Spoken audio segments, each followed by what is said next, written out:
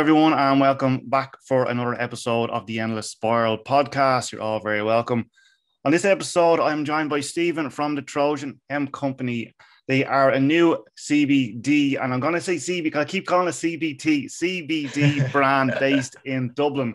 And to be honest, I'm always interested to chat to businesses who uh, offer products that help someone's mental health, and especially an Irish business and a Dublin business, because obviously I'm based here in Dublin. So I'm actually very interested to learn a little bit more about Stephen and his company and the CBD in general. And let's just let the cat out of the bag straight away, guys. I know nothing about Z CBD. CBD. I swear to God, I got to get that right. I know absolutely nothing about this. So we're just to go through questions after in the podcast, and we'll see how Stephen um, answers them. I probably should have got the countdown music embedded into this podcast. It's just like fire, yeah. fire questions at him. but yeah. anyway, Keep Stephen. Exactly. Yes, exactly. well, look, Stephen, thanks very much for coming on the podcast today. Um, I appreciate you giving up your time to have a chat. And um, how are you? Thanks Everything okay? Everything's brilliant with myself. Yeah. Good, Friday, good. as you say, coming up to the weekend. It's always a good time. Exactly. Yeah, we were just saying that beforehand. It's nearly there. We're nearly there. Um, so I think we'll hand the reins over to Stephen, and we'll let Stephen kind of give yourselves and me a little bit of an insight into him and kind of where the Trojan Hemp Company came from and how we kind of got involved in the CBD uh, stuff and all that. So why don't you tell everyone a little bit about yourself? Yeah, um, so obviously Dublin born and raised. Um, I was I've worked in sales for five six years. Um, I did a little bit of traveling, went over to Australia, met my partner over there. She's from Wales herself, and um, she came back to live here with me. Again, went back into a sales job. Was kind of going, felt like I was just going through the motions. wasn't really any any drive or motivation. I wasn't really happy with what I was doing. Um, so the start of lockdown came in. Then was off work. Went into a bit of a, a, bad place where I wasn't really leaving the house. Was kind of in a, a, a bad mental space and yeah, after about a month of that, then I, I, started looking at ways that I kind of improve my own mental well-being and my own physical well-being as well. Start looking after myself a little bit better. Um, and from there, I kind of had a massive lifestyle change. Um, went vegetarian, started yoga, meditation, took up CBD after being referred to by a friend. Um, and then we started working on our business from there once we were in kind of a, a better mental space and yeah, it's it's it's been a an enjoyable road. Yeah, yeah. And when your friend um, recommended the CBD to you, had you heard of it before, yeah. or had you tried it before, yeah. or did you know anything about it? Yeah, so like I'd I'd know quite a lot about cannabis. Um, I've had um, a lot of experience with cannabis in the past, and it's they the two are similar. They're not quite the same, but they are okay. similar. Okay. Um, cannabis is obviously the intoxicating properties and mind altering. CBD is a little bit different. It comes from the same family, same species okay. of plants, but it doesn't have that mind altering effect. So I'd kind of got a basic understanding of it. Um, and when he told me to look into it a little bit further, did a lot of research into other kind of more developed markets, um, the likes of the US and Canada. Mm and started looking at the research that was coming out from those markets. And yeah, it, it was just, it was fascinating. Got absolutely completely rabbit hole straight in. I, I loved everything about it. The different ways that it can kind of benefit people, like it, it just has such a wide range of positives to offer people. And it just, it really, really resonated with me. Yeah, yeah. And were you suffering from like anxiety or was it depression or was it a bit of both or how did you how did you yeah, actually end like, up taking it?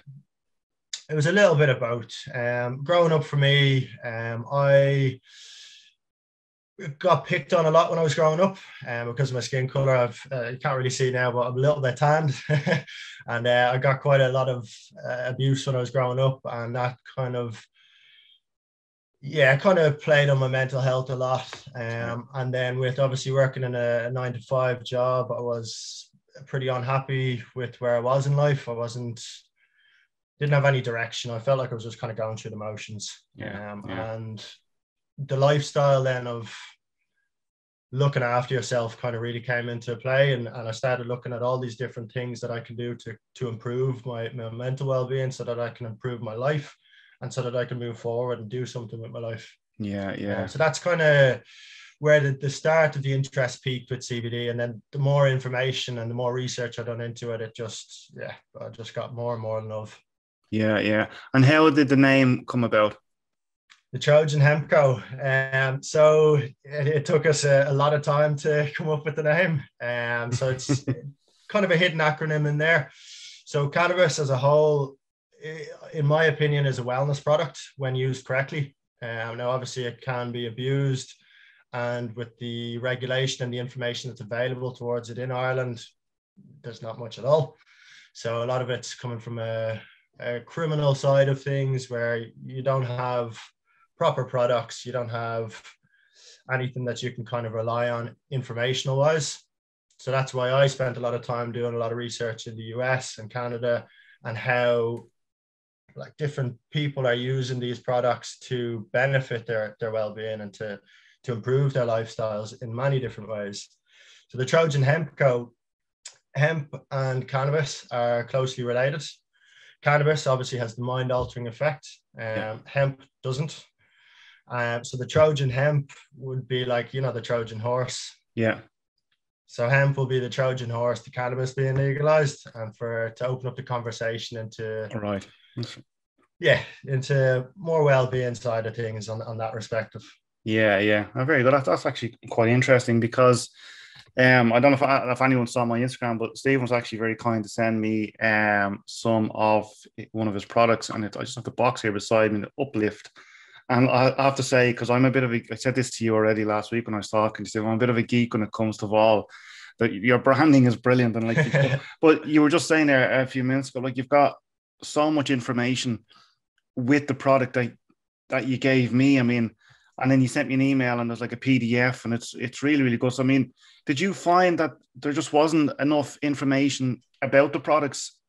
Yeah, big time big time, like a huge lack of information, not right. just in Ireland, across Europe. Um, the rest of Europe in the last kind of two years has really, really taken off. Ireland are very, very slow to catch on, as with everything. I'm sure you know yourself. um, so we spent a lot of time, myself and my partner Hattie, um, we spent a lot of time researching the different like more established markets like the US and Canada, where there was an abundance of information laid out in a really easy to easy way to access and understand. Yeah. And that's kind of what we wanted to do here in Ireland. We wanted to provide not only a high quality product, but the information yeah. to go along with it. Okay. So are these products, or I mean, and look, as we said, guys, I know nothing about this, so I'm, my questions are probably going to be a bit basic. But hopefully, by my questions, if someone who's listening to this aren't too familiar with it, they might, we, you know, they might get something from this. But yeah, um, I don't even know I was going to ask you now. I know I was going to ask you. Oh, yeah, I know. I remember now. So, yeah. are the like is CBD like is that um kind of more popular outside Ireland? So, is it really popular in America, or yeah? Yeah, yeah. I, I, think a recent study was done in summer last year. One third of the population in the US are now using CBD. So wow. massive, massive numbers. Yeah. Okay. And the reason being is how it actually interacts with your body. So you actually have a system in your body that's built to receive these compounds like CBD. Yeah. It, what CBD does is makes that system work better, and that system then regulates the other systems, the likes of your respiratory system, immune system. That system regulates them and makes sure that they're functioning to their best ability. So basically, it's it's a health and wellness product. Okay, right. And can you can you get it in different forms? I know the one you sent me was in like a it's like I suppose it's a liquid the form. Oil. The oil, yeah. sorry, the oil, yeah. yeah. Yeah, absolutely. Yeah, there's many, many different different types of CBD. You'd be surprised. Okay. You get everything from CBD lip balm, shampoos, oh, CBD okay. toothpaste, um, CBD gummies. There's wow. yeah, what basically any product that you think can think of, they put CBD into it. Okay. and do they all do the same thing? I mean, are, uh, do, do they all have the same ingredients? Things. Yeah, um, CBD itself is is one ingredient. It's one compound, but that can okay. be mixed in in different forms to provide different benefits or different effects. Um, for example, CBD hair care would be more for dry scalp or kind of dry hair or stuff like that. Um, whereas CBD oils is more internal well-being, mentally and physically. All right, okay. So you're obviously taking the oil for your own mental health. Yeah. Yeah. And how did you find along out? Along with along with other things now, of course, Yeah, like meditation, yoga. Yeah, I was actually, Yeah. I was, I was I'm glad you said that because I was going to ask you if you had tried anything else as well, or Yeah. anything along with it. Obviously, you know, to kind of, um, to help each other along. So you, you, know, you, you tried uh, mindfulness or meditation, Yeah. um, and you're doing yoga now as well. So you kind of, I suppose it's good to kind of incorporate that into everything, really. Absolutely. Yeah. Hundred percent. I believe it's a it's a lifestyle. Yeah, yeah, yeah. A lifestyle. And what type of yoga are you doing? Are you doing yoga for for long? Um, so I've just been doing mainly YouTube videos, really, um, and I've been doing them for probably about the last year. Um, kind of after that that slump that I had at the start of COVID, that's Yeah. when I kind of started to incorporate all these different things into my life. Um, Yeah. And since then, it's it's been part of my daily routine. Yeah, find it essential for keeping myself at that that uh, high operation and kind of yeah. staying positive. Yeah. So why don't you run us through a typical day for you then? Yeah. Um. So myself and my partner get up. Um. It varies every day. Like we're not too strict on ourselves. Probably Mm. about between six and seven o'clock. Uh, we'll get up. We'll have our breakfast. Do our yoga. Then we'll sit down, do some meditation, have our CBD, and then get to work for the day. Okay. Um, and then lunchtime, we'll have lunch about 12 or 1, do a little bit of meditation again before we go back to finish our working day. And then, yeah, chill out in the evenings, relax, have some CBD, and have a nice restful sleep. So, and actually, I'm glad you said about sleep. So it helps your sleep, doesn't it? Because I'm, I don't sleep great. I mean, I used to sleep Right. better, but for some reason at the moment, I'm not sleeping very well.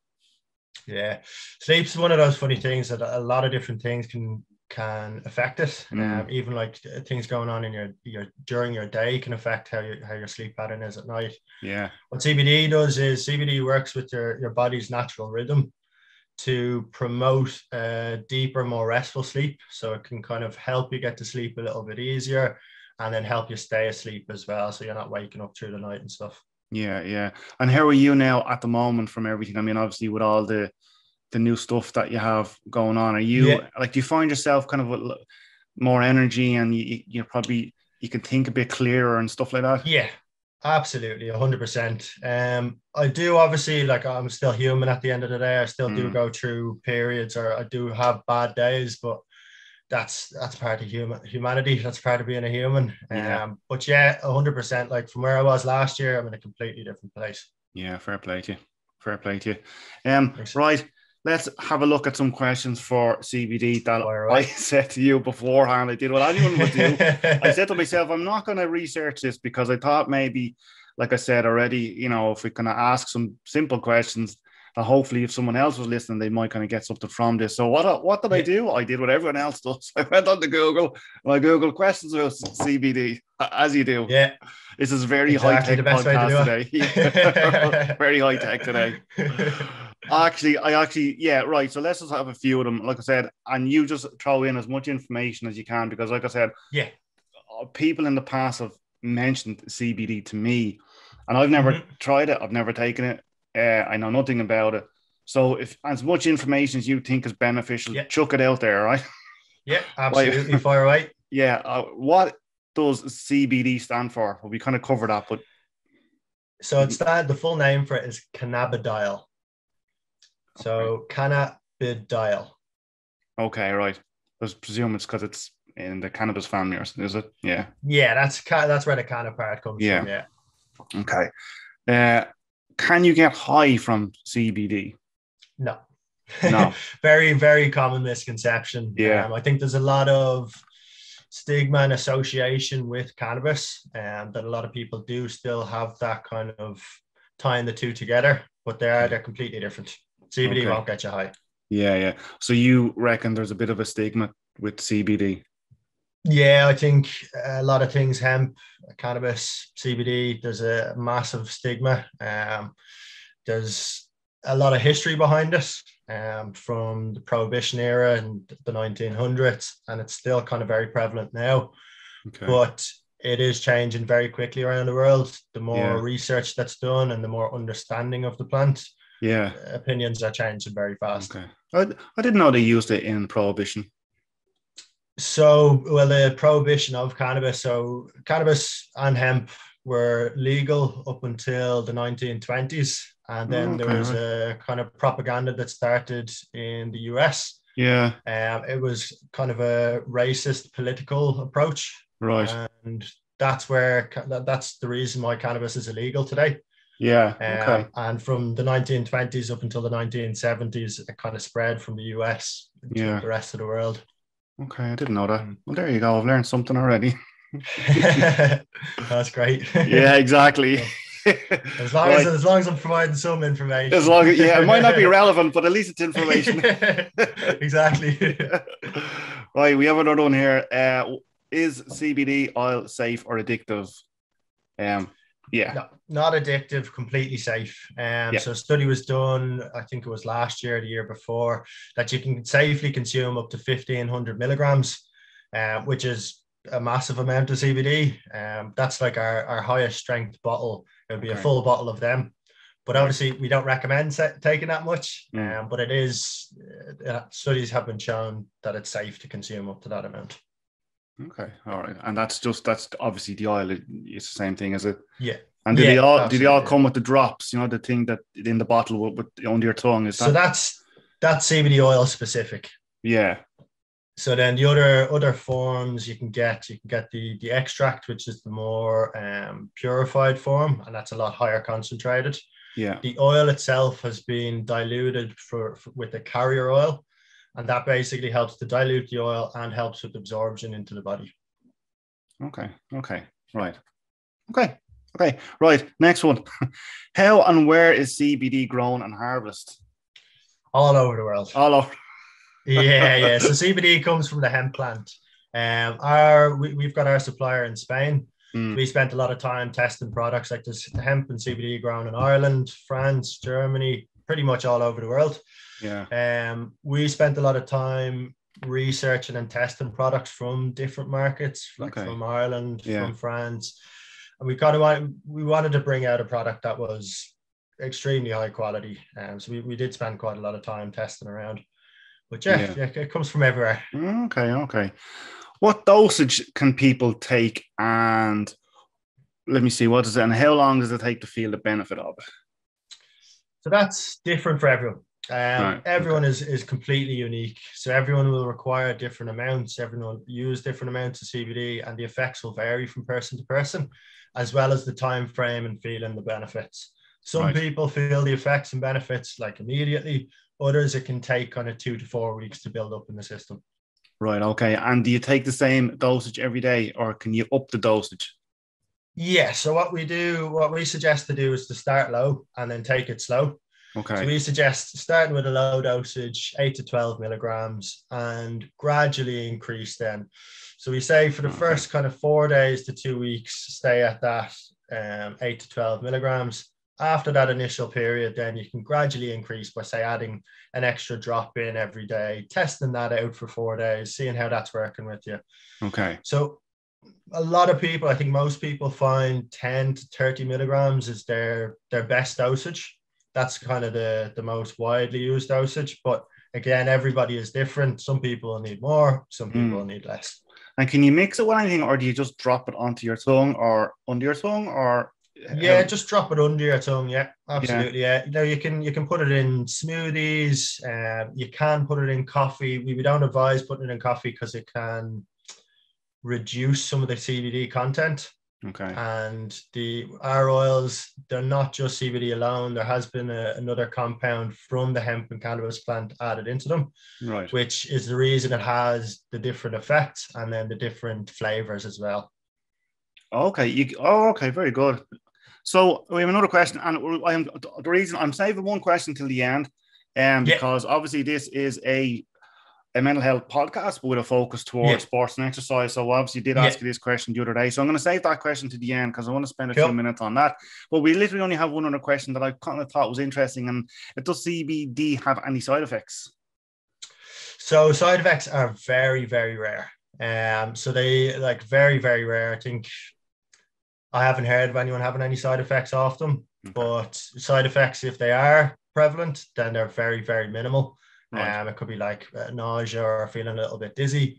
But Yeah. again, like I, I'm still to come across anyone that's that's had any side effects of them. Okay, all right, very good, very good.